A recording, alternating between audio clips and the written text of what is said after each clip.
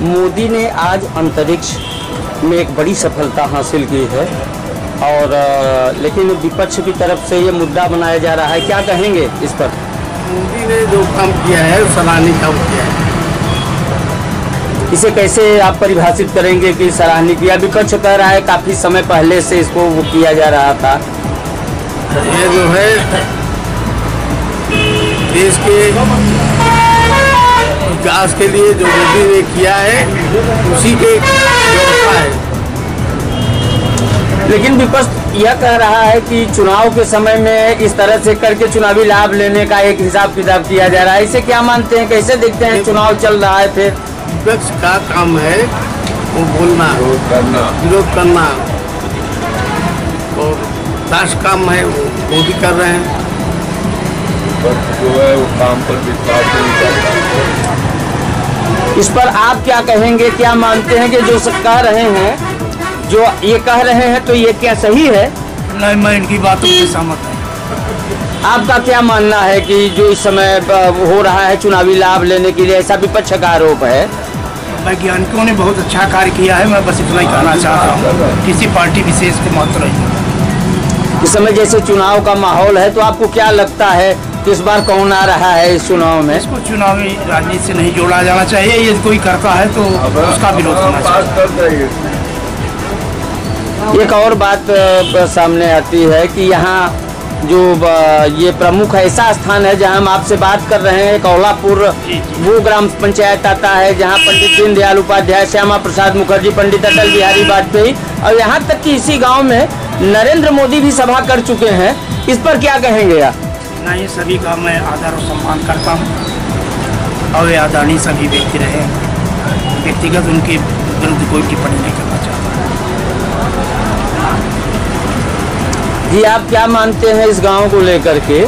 और जो अभी चुनाव चल रहा है, सरकार की तरफ़ से अभी तमाम काम किए जा रहे हैं, चाहे आतंकियों को मारना हो या कोई भी बात हो तो कितना जोड़ के इसको देखा जाए राजनीति से कि ये पहले क्यों नहीं हुआ ऐसा विपक्ष का कहना है इस चुनाव में? ऐसा है तो विपक्ष ही करके भी दिखा देता।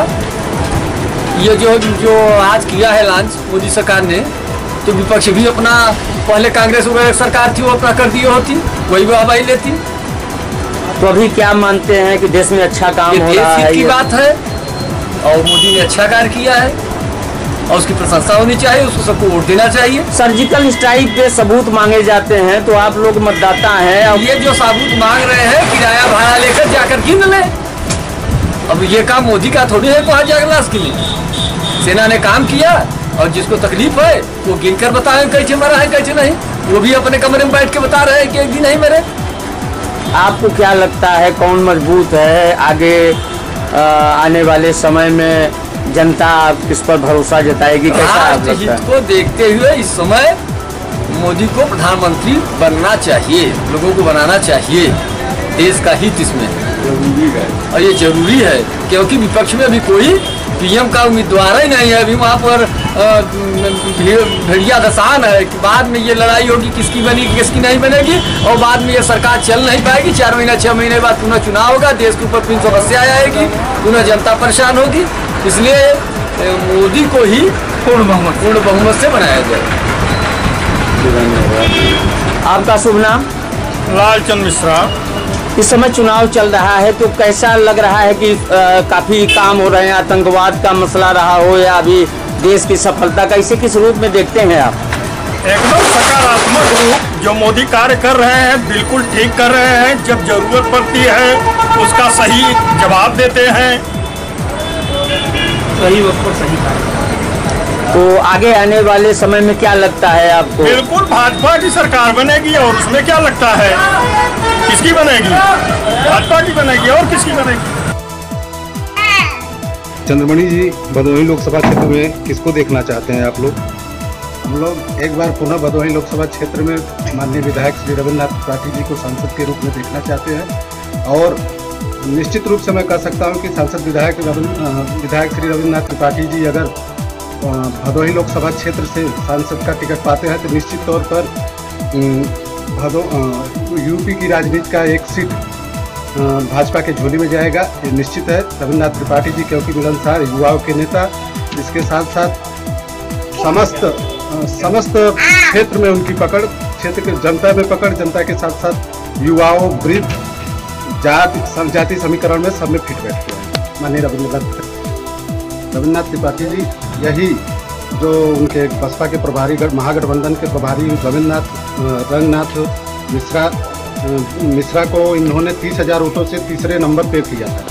और बड़े अंतर से रविन्द्रनाथ त्रिपाठी जी ने लोकप्रियता के बल पर उन्होंने रंगनाथ जी को तीस हज़ार वोटों से हराया। क्या नाम है आपका? हमारा नाम है सुबेश वर्मा।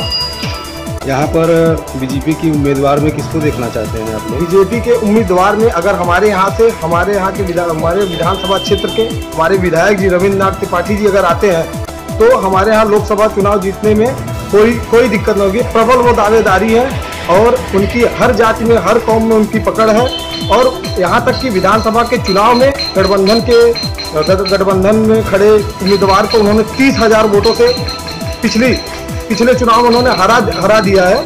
है आपका राम प्रसाद मौर्य आप बीजेपी प्रत्याशी के रूप में भदोही लोकसभा से किसे देखना चाहते हैं? हम जो है माननीय विधायक जी रविन्द्रनाथ त्रिपाठी को देखना चाहते हैं। वो जो है सबके दरवाजे जाते हैं और गरीब मजदूर चाहे जो भी हो चाहे जिस काम में हो उनको सब बुलाते हैं। मैं आपका हमारा नाम दिलीप कुमार आप भदोही लोकसभा से किसे प्रत्याशी के रूप में देखना चाहते हैं?